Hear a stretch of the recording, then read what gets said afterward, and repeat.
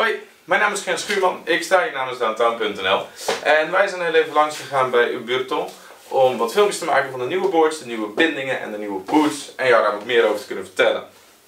Ik heb hier de Burton Daytrader. Uh, vorig jaar nog een Family Tree board. Inmiddels is het zijn eigen lijn.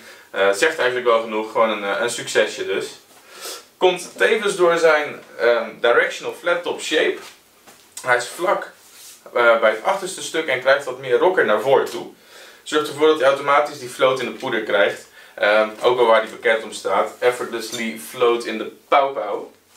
Um, samen met zijn directional shape, zoals je al wel zult zien, um, hij heeft maar liefst 35, of nee, 37,5 mm setback, 12 mm taper en natuurlijk een directional flex.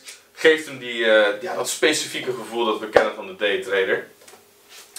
Um, Tri-X Fiberglass geeft hem dus die in de lengte en, en, de, en de torsionele wat meer de stijfheid. En dus wel die, die respons en die kracht die je eigenlijk wil hebben voor jouw lekkere poederbochten. En natuurlijk de bochten op de piste nog.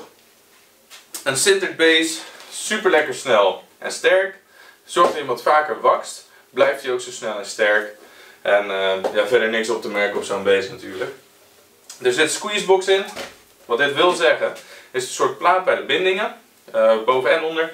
En simpelweg gezegd zorgt ervoor dat jij wat meer die krachten direct kan uitoefenen op de staalkanten. Um, natuurlijk zit er frostbite in. En wat ze daarmee doen is ze laten ook die staalkanten bij de bindingen allebei ietsjes verder naar buiten komen. En dat geeft een meer grip op ijs en hardpacked snow. Dus dat je echt uh, nog steeds die controle daar gewoon op kan houden. Als ik, uh, als ik dit board eigenlijk een paar termen zou moeten geven, dan zou het toch wel, ja, zoals ik in het begin al een beetje zei, effortlessly uh, float in de pauw. Dus effortlessly vind ik er mooi bij. Uh, fun. En gewoon, ehm, ja, eigenlijk grensverleggend leuk. ja, daar staat hij wel een beetje bekend om. De Burton Day Trader. Um, over het zit natuurlijk ook nog Infinite Ride op. Betekent dat het board van begin tot eind hetzelfde zal voelen.